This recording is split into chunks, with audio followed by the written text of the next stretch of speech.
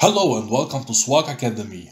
In this video, I will explain to you how to calculate the intrinsic value of a stock. I will begin by explaining the concept of intrinsic value and discounted cash flow. Afterward, I will apply an example for the Apple company and I will show you where you can get the data to apply the formulas. So make sure to watch to the end of the video. Let's begin with what Warren Buffett says about intrinsic value.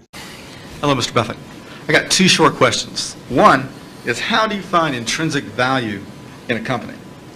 Well, intrinsic value is what is the number that if you were all knowing about the future and could predict all the cash that a, bu- a business would give you between now and judgment day, discounted at the proper discount rate, that number is what the intrinsic value of a business is. And Based on Warren's answer, the intrinsic value is the sum of cash the company will generate in the future discounted to the present value. It is logical to understand that the value of an asset is the sum of cash it generates in the future. But why discounted to the present value? Well, $1,000 today is worth much more than $1,000 in 5 years.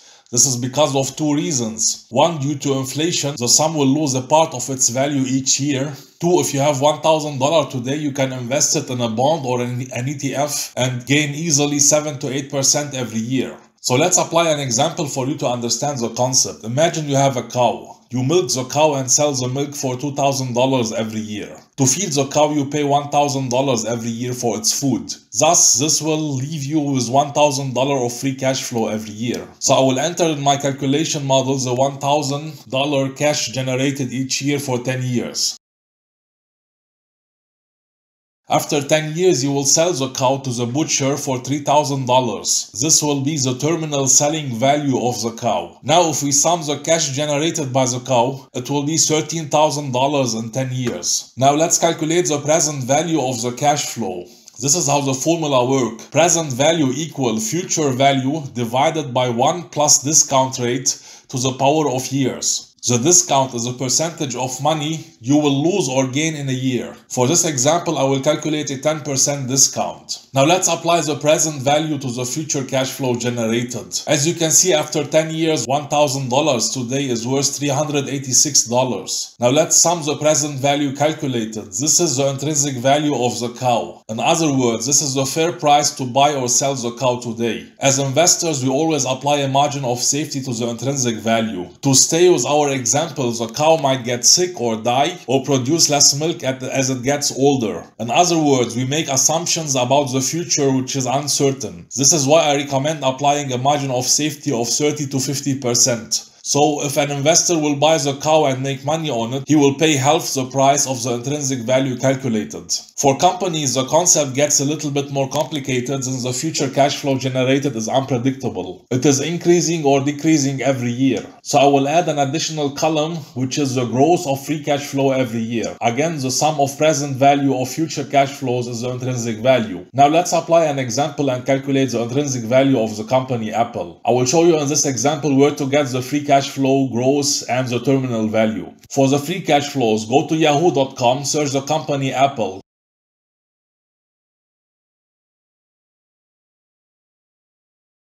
Go to financials, cash flow, scroll down, and there you have it. You will see the free cash flow value.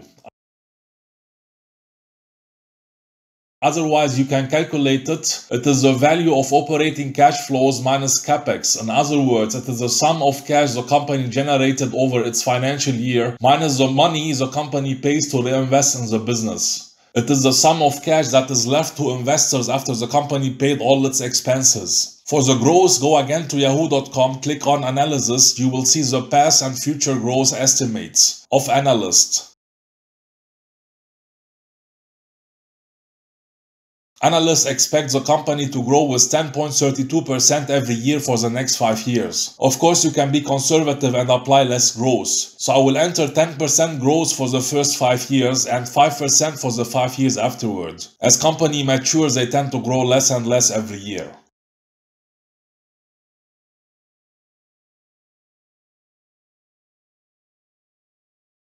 For the terminal value, you can apply the following formula to find the terminal multiple of the price at which the company will be sold in 10 years. Terminal value equal terminal multiple multiplied by free cash flow. For the terminal multiple, and from my experience, you can use the following formula. 8 plus growth rate for the last year. In this example, we calculated 5% growth rate after 10 years. So the terminal multiple is 8 plus 5, which is equal 13.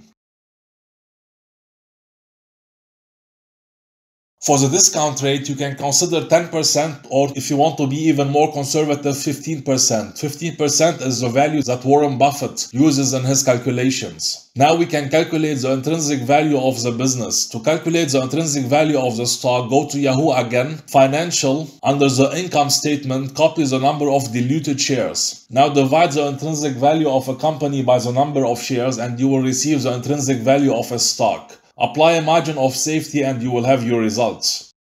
I hope you found value in this video. If yes, please give us a like and consider subscribing. Thanks for watching.